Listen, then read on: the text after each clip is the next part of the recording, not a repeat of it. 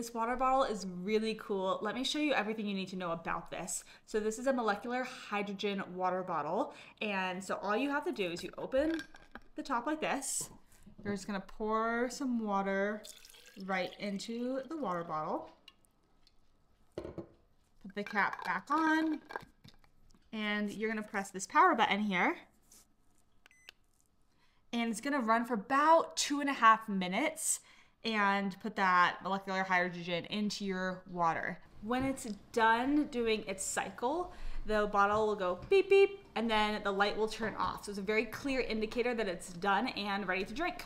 Now, a few things you should know about this is that um, the the top right here that you just saw me screw off, that is washable, but it's not dishwasher safe. You can use hot water for it. Same with this glass piece. This glass piece unscrews from the base.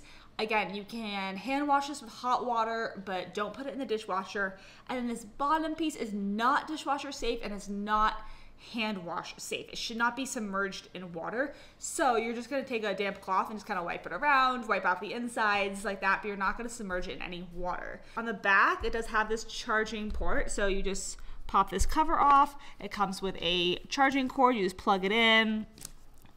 It's a to a USB, so it's just really easy to charge. And this water bottle really isn't that heavy. Again, it's filled with water and it's not super heavy for being a solid glass here. It's pretty lightweight, it's really compact, it's really sleek. So this is a really cool device and a really nice design as well.